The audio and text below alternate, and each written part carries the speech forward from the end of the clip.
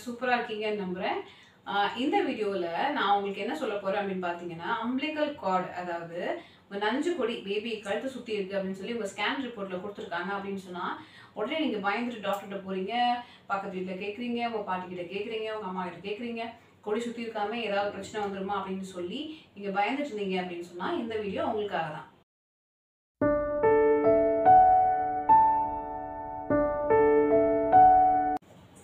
நான் doctor Sukanya Sri scans ultrasound diagnostic centre and Sudhar medical centre திருச்சியில் இருக்கேன்.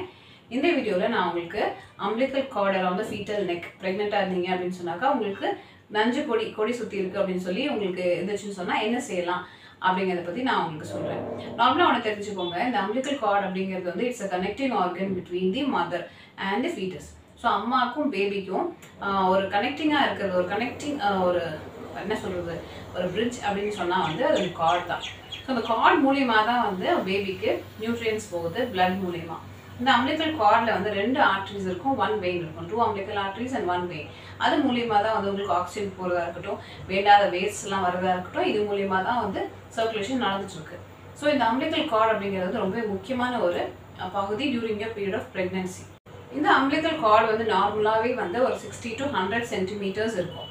In case uh, உங்களோட umbilical cord வந்து ஹண்ட்ரட் சென்டிமீட்டர்ஸ்க்கு மேலே இருக்குது லென்த்தி கார்டாக இருக்குது அப்படின்னு சொன்னால் கொடி சுத்துக்கு இருக்கிறதுக்கு அதிக வாய்ப்பு அதிக வாய்ப்புகள் இருக்குது எதனால அப்படின்னு பார்த்தீங்கன்னா ஏதாவது காரணம் நான் வந்து இப்படி திரும்பி படுத்துட்டேனா நான் வந்து இந்த வேலை செஞ்சுட்டேனா வெயிட் தூக்கிட்டேனா படிக்கட்டு ஏறி இறங்கினா ட்ராவல் பண்ணேனா அதனால எனக்கு பேபியோட கழுத்தில் கொடி சுற்றி இருக்குதா அப்படின்னு சொல்லி நீங்கள் கேட்டிங்கன்னா எந்த ஒரு காரணமும் கிடையாது. அம்பிளிக்கல் கார்டு வந்து உங்கள் பேபியோட கழுத்தை சுற்றுறதுக்கோ இல்லை எந்த ஒரு பார்ட் ஆஃப் பாடியை சுற்றுறதுக்கோ வந்து எந்த ஒரு ரீசனும் கிடையாது. The thing is that umbilical cord அப்படிங்கிறது வந்து கனெக்டிங் ஆர்கன் நான் ஏற்கனவே உங்களுக்கு சொல்லியிருக்கேன். அந்த அம்பிளிக்கல் கார்டை சுற்றி வந்து ஃப்ளூயிட் இருக்கும் ஆம்னடிக் ஃப்ளூயிட் இருக்கும். அந்த ஆம்னடிக் ஃப்ளூயிடில் பேபி வந்து விளையாண்டுக்கிட்டே இருப்பாங்க. இப்போ விளையாடிட்டே இருக்கும்போது தலைக்கீழ வரலாம் மேலே வரலாம் உருண்டு படுக்கலாம் குப்புற படுக்கலாம் இந்த மாதிரிலாம் படுத்துகிட்டே இருக்கும்போது இந்த மாதிரி விளையாண்டுட்டே இருக்கும்போது என்ன ஆகும் அப்படின்னு பார்த்தீங்கன்னா ஆக்சிடென்ட்லாம் வந்து அந்த கார்டு அவங்கள தன்னை தனி சுற்றிக்கிறதுக்கு அதிக வாய்ப்புகள் இருக்குது அது வந்து வேற ஏதாவது பார்ட்டில் இருந்துச்சுன்னா அவங்களுக்கு பிரச்சனை இல்லை.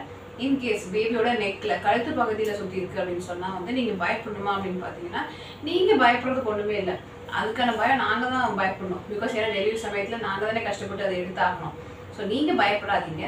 இன்கேஸ் அது எந்த வாரத்தில் இருக்குது அப்படிங்கிறத பார்த்துக்கோங்க டுவெண்ட்டி சிக்ஸ் வீக்ஸாக இருக்கட்டும் ஏழு மாதத்தில் கூட சுற்றி இருந்தாலும் சரி இல்லை ஒம்பது மாதம் கடைசியில் கூட சுற்றி இருந்தாலும் சரி நீங்கள் பயப்பட தேவையில்லை. பிகாஸ் பயப்பட வேண்டியது நான் ஏற்கனவே சொன்ன மாதிரி டாக்டர்ஸ் தான். டெலிவரி பண்ணி உங்கள் கையில் எடுத்து கொடுக்கும் போது தான் நாங்கள் அதை எப்படியாவது கண்டிப்பாக அது அது எப்போ இன்கேஸ் டெலிவரி பெயின் வந்த வந்த சமயத்தில் நாங்கள் ஒரு ஸ்கேன் பார்க்கணும்னு வச்சுக்கோங்களேன். இப்போ அந்த ஸ்கேன்லேயே வந்து டாக்டர் போட்டு பார்க்கும்போது கழுத்து பக்கத்தில் வந்து கார்ட்ஸ் எல்லாம் இருக்குது அப்படின்னு சொல்லி தெரிய வந்துச்சுன்னு சொன்னாக்கா முன்னாடியே நாங்கள் பிளான் பண்ணி சி செக்ஷன் பண்ணுறதுக்கு பேபியை சேஃபாக டெலிவரி பண்ணி கொடுக்கறதுக்கு ரெடியாக இருக்கிறோம்.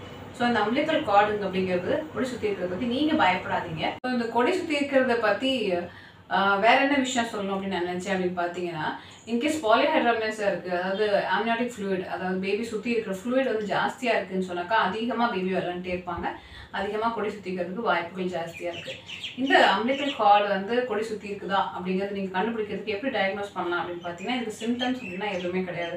நீங்கள் எப்பவும் போல தான் நார்மலாக எப்போ ப்ரெக்னென்சி ப்ரெக்னென்சி எப்படி கண்டினியூ பண்ணுவீங்களோ அதே மாதிரி தான் நீங்கள் இருப்பீங்க. நீங்கள் ஒரு ஒரு மாதமும் க்ரோத் ஸ்கேன் போவீங்க அனாமலி ஸ்கேன் எடுப்பீங்க அண்ட் கடைசியாக ஒரு டேர்ம் ஸ்கேன் எடுப்பீங்களா அந்த மாதிரி சமயத்தில் உங்களுக்கு groups of cords are seen around the neck of the foetus அப்படின்னு சொல்லி கொடி சுற்றி இருக்குன்னு சொல்லி உங்களுக்கு அல்ட்ராசவுண்ட் ஸ்கேனில் கொடுத்துருக்காங்க அப்படின்னு சொன்னால் நீங்கள் அடுத்து நீங்கள் உடனே பயந்துக்கணும்னு அவசியமே கிடையாது. ஸோ நீங்கள் என்ன பண்ணலாம்னா follow up scans repeated scans ஒரு ரெண்டு நாள் கழிச்சு ஒரு ஸ்கேன் ஒன் வீக் கழிச்சு ஒரு ஸ்கேன் எப்படி எப்படிலாம் உங்கள் டாக்டர் உங்களுக்கு ஃபாலோ அப் பண்ண சொல்கிறாங்களோ எவ்வளோ நாள் இருக்குதோ அதுக்கேற்ற மாதிரி உங்களுக்கு ரிப்பீட்டட் ஃபாலோ அப் ஸ்கேன்ஸ் தேவைப்பட்டுட்டே இருக்கும். அப்போ அந்த ஸ்கேன் தேவைப்படும் போது அதில் தெரியும் நார்மலாகவே தேர்ட்டி செவன் வீக்ஸ் வரைக்குமே ஒரு சில பேபி வந்து கழுத்து சுற்றி இருக்கிற கார்டெலாம் இருக்கிறாங்க. தேர்ட்டி செவன் வீக்ஸ் கழித்து டக்குன்னு ஒரு ஸ்கேன் பார்க்கும்போது கார்டு இல்லாத பேபி கூட இருக்கிறாங்க. ஸோ நீங்கள் பயப்படணும்னு அவசியமே கிடையாது.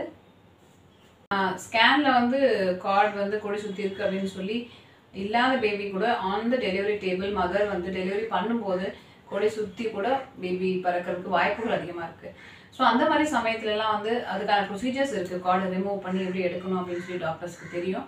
ஸோ நீங்கள் வந்து அந்த அம்பிளிக்கல் கார்டு அரௌண்ட் நெக் பற்றி நீங்கள் ரொம்ப கவலைப்பட்டுட்டு இருக்காதீங்க. டாக்டர்ஸ் நாங்கள் என்ன சொல்கிறோமோ அதை ஃபாலோ அப் பண்ணி வந்தாலே போதும். ஓகே இந்த வீடியோ கண்டிப்பாக உங்களுக்கு ஒரு சின்ன ஒரு யூஸ்ஃபுல்லான இன்ஃபர்மேஷன் கொடுத்துருச்சுன்னு சொன்னாக்கா இந்த வீடியோக்கு ஒரு லைக் ஷேர் அண்ட் கமெண்ட் பண்ணுங்கள் அடுத்த வீடியோவில் நான் உங்களுக்கு பார்க்குறேன். Until then take care bye